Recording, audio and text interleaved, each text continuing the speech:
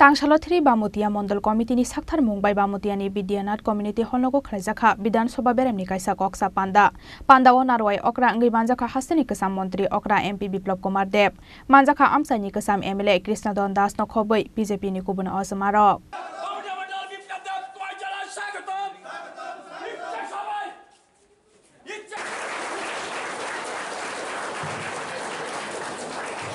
ফাইনাই লোকসভা চংবাৰী নবেচ কাংগতনে সালব্ৰম হাস্তে গনাংগৈ পীৰমুংগ অংখৰজাক বিজেপিনি অজমারক আবা হাইকেন তাংচল থ্রি বামুতিয়া মণ্ডল কমিটিনি সাকথান মুম্বাই বামুতিয়ানি বিদ্যানাথ কমিউনিটি হল নগ খ্লাইজাখা বিধানসভা বেৰামনি কাইসা কক্সা পান্ডা পাণ্ডাৱন আৰু আই অকৰা অংগৈ মানজাখা হাস্তেনি কিছাম মন্ত্ৰী অকৰা এম পি বিপ্লৱ কুমাৰ দেৱ মানজাখা আমচাইনি কিছাম M L A Krishnadhan Das নখবৈ বিজেপিনি গুবুন অজমাৰক পাণ্ডাৱা ওয়েস্ট ত্রিপুরা আচুক থাইনি বিজেপি বদলনি বাতাইনাই হাস্তেনি কিছাম মন্ত্ৰী অকৰা M P Biplab Kumar Dev সগৈখেন কুচুক বেৰে নিমনি খাতুমানি by খেলাম জক না হারকা কা বামতিয়া আমসানি বিজেপি আদং রক আবনি ইয়াগুলো ন্যাশনাল এন্থেম দসাবাই পান্দা চেঙ্গে রলাইখা পান্দা ও মানজাক নাই নারওয়াই রক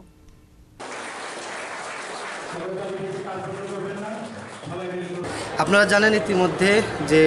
যদিও এখনও পর্যন্ত ইলেকশনের দিন তারিখ ঘোষণা হয়নি, তা সত্ত্বেও বিশ্বের সর্ববৃহৎ দল ভারতীয় জনতা পার্টি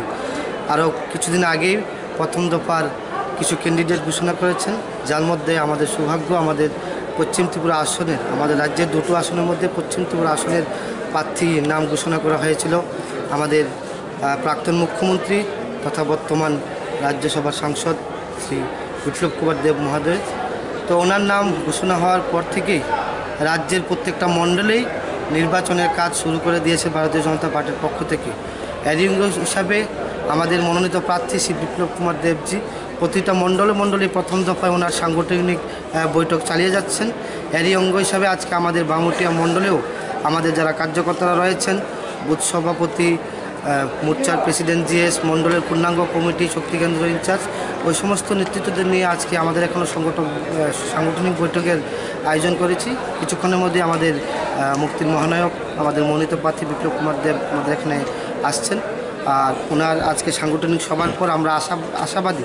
আমরা দু হাজার তেইশের নির্বাচনে বামুটিয়া, যদিও আমরা পরাজয়ের মুখ দেখেছি, তো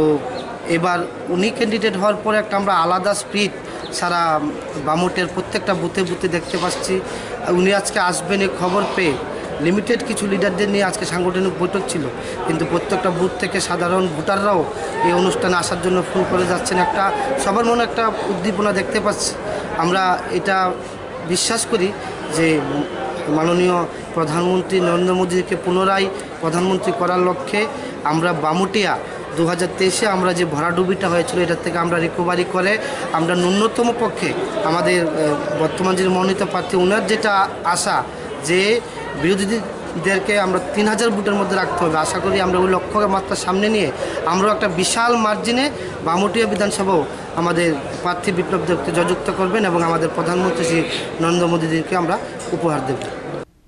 আজ হালনি কক্সা পান্ডব বামতিয়া আমসানি বিজেপি আদং আদং যোগ সংনি ফাইমানি বেলায় মকলকলাই থতক ব্যুরো রিপোর্ট, চিনি খরাং